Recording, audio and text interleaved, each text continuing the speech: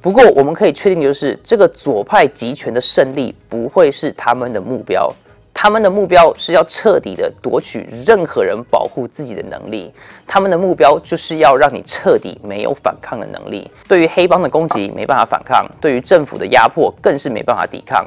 他们要的不只是你失去抵抗能力而已，而是要你失去防御自己的能力。你念的没有错，他们就是要你变得很好杀。你可能会觉得说，伊森，你不要再讲这种阴谋论了，好不好？为什么要老是？吐槽政府啊？谁说政府要夺取你保护自己的能力了？他们只是希望不要再枪支泛滥啊！我们就来看一下纽约州长颁布的行政命令，禁止普通的纽约人穿戴、购买以及贩售防弹背心。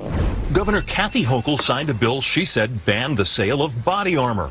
She tweeted about the body armor ban and spoke about it too. No longer will we allow the sale of body vests and armor to those who don't need them for work.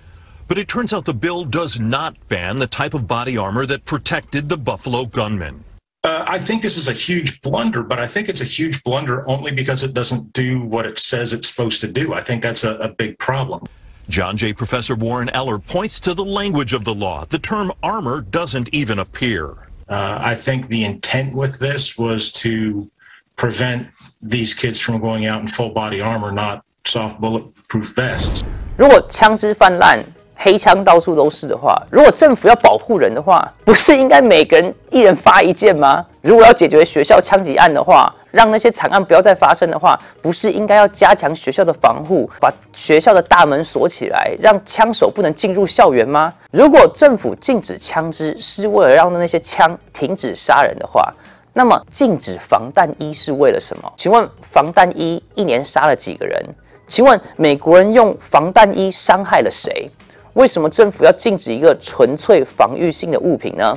为什么在一个自由的社会里面，政府可以说一个人保护自己有什么是必要的，有什么是不必要的？原因就是拯救我们、保护我们、帮助我们，一直都不是政府的目的，也不是政府的责任。他们要的是控制我们。夏天是不是太无聊了呢？是不是想要找一些合家欢乐又有意义的活动一起做呢？告诉你一个好消息，Impact Harvest Church 邀请你跟你的家人朋友一起参加盛夏园游会，在七月十号上午十一点到下午四点。今年的主题是仲夏之梦，想要帮助更多的人可以找到他们的梦想。更重要的是，他们造物主创造他们时候的方向，让人活得可以更有意义、更有目标、更丰盛。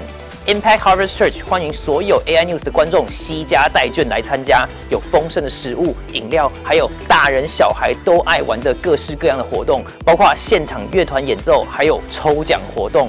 我在这里真的是说不完，因为我当天也会在，因为那就是我教会，地址是一四零 West Lime Avenue, Monrovia, California 九一零一六。详细情形欢迎到 Impact 的网站 www.loveimpact.net 来了解更多。